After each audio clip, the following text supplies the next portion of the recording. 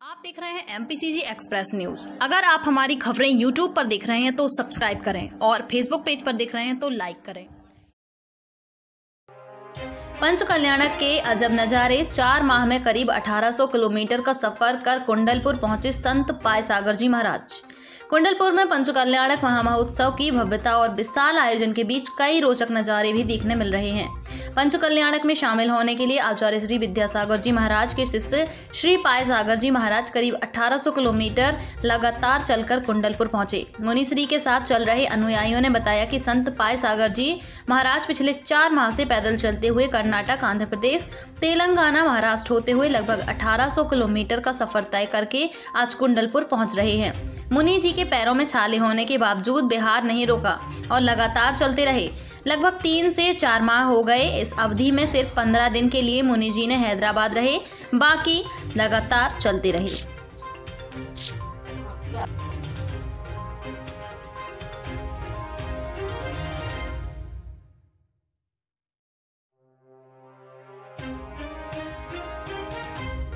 महाराज जी, कहाँ से आगमन हुआ है आपका?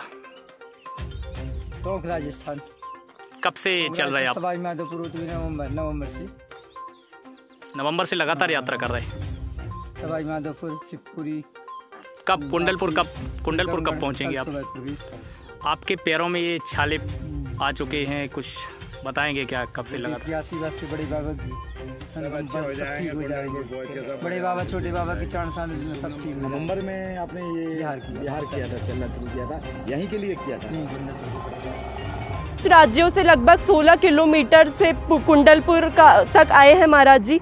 संत शिरोमणि आचार्य श्री विद्यासागर जी महाराज परम शिष्य मुनि श्री पाई सागर जी महाराज आए हैं। ज्ञात हो मुनि श्री पाई सागर जी महाराज का विहार कर्नाटक आंध्र प्रदेश तेलंगाना महाराष्ट्र से होते हुए कुंडलपुर की ओर चल रहा है। महाराज श्री प्रतिदिन 40 से 50 किलोमीटर की दूरी तय करते हुए कुंडलपुर महोत्सव में सम्मिलित होने के लिए विहार कर रहे हैं। अभी तक बिंदोरा, कर्नाटक, आंध्र प्रदेश, तेलंगाना महाराष्ट्र होते हुए महाराष्ट्र श्री मंगल विहार 1600 किमी हो चुका है। जिसके बाद कल उनकी यात्रा कल पूर्ण होगी मतलब आज तो हो चुकी है। और मुनि श्री छोटे बाबा के दरबार बड़े बाबा के यहाँ पहुँच चुके हैं।